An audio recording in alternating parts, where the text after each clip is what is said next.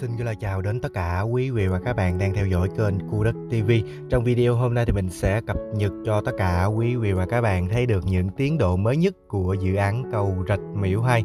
Hiện tại ở hai trụ tháp Di Văn B19 và B20, các đơn vị thi công đã kéo cáp Di Văn số 6 rồi và đang làm thép thi công khối dầm K5 phải nói là tiến độ thi công rất là nhanh chóng luôn ạ. À. Sau một ngày, một đêm, dự án cầu Rạch Miễu 2 hôm nay có gì thay đổi? Bây giờ mời tất cả quý vị và các bạn cùng nhau tiếp tục theo dõi đến hết video này với Cu Đất TV nhé.